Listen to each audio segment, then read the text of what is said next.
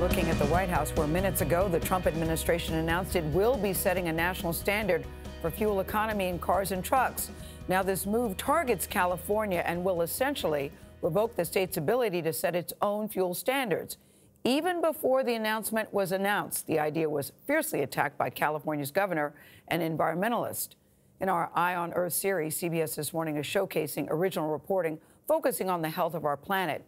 Greenland's melting ice sheet is contributing to a rise in sea levels that could threaten millions in low lying areas. The situation became more urgent this summer when 11 billion tons of surface ice melted in just one day. Seth Doane visited Greenland's glaciers to meet some of the scientists on the front lines of climate change. Icebergs broken off glaciers fill fjords. Ice melting here in Greenland is affecting sea levels around the world. In fact, if all of Greenland's ice sheet melted, sea levels could rise by 23 feet worldwide. We choppered out to Helheim Glacier, which holds enough frozen water to fill the entire state of Pennsylvania a foot deep. Ah, uh, you can see the camp now. Scientists are perched at the glacier's edge.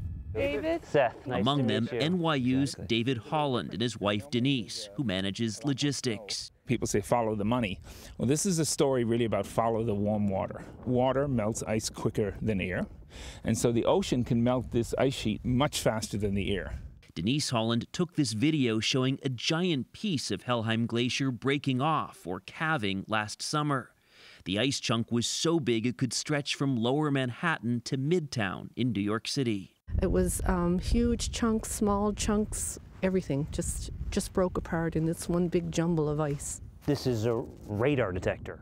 Holland and the NYU team set up radar equipment that peers into the glacier to measure its movement and thickness. The icy surface is deceiving one comes up here and doesn't see a problem. Right. And so uh, the potential problem is when we put our probes down in this fjord down to the bottom and we detect uh, large volumes of very warm, salty water. So, because you know that could melt the ice fast. Yeah, and that's not sustainable.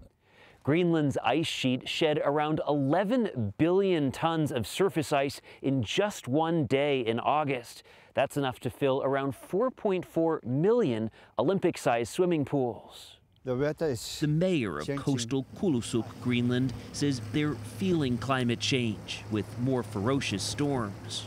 So houses noise. Because of this extreme weather, because yeah. of the wind? Because of uh, strong wind.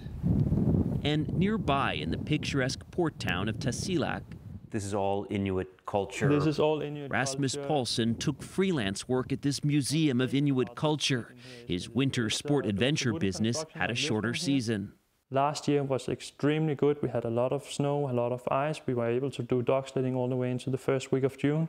This year I had to close down my business for winter activities in the middle of April. Summer came sooner. Summer came very, very much sooner. Coming off the ice sheet in winter. At the glacier, winds. David Holland and his team have been surprised to learn just how finicky the atmosphere is. People say climate will change by a degree or something. In the tropics, I don't think that matters. But when you're at the freezing point, minus a half degree below is freezing, plus half a degree above is melting. One degree is everything. They're collecting data to understand what is happening so scientists can then tackle the question why. For CBS This Morning, Seth Doane, Helheim Glacier, Greenland. Doing good work out there on today's CBS This Morning podcast. Seth and his producers share details of their reporting from Greenland, including what locals say about the effects of climate change. And to learn more about what you can do to help the environment, and everybody can do something, we invite you to go to our CBS This Morning Instagram page for advice from teen climate activists Greta Thunberg and others. Greta, you know, was here at the table the other day. Was indeed. She was at uh, Congress recently. Yes, too. she was. I right. saw on her. TV. The cost of emergency room visits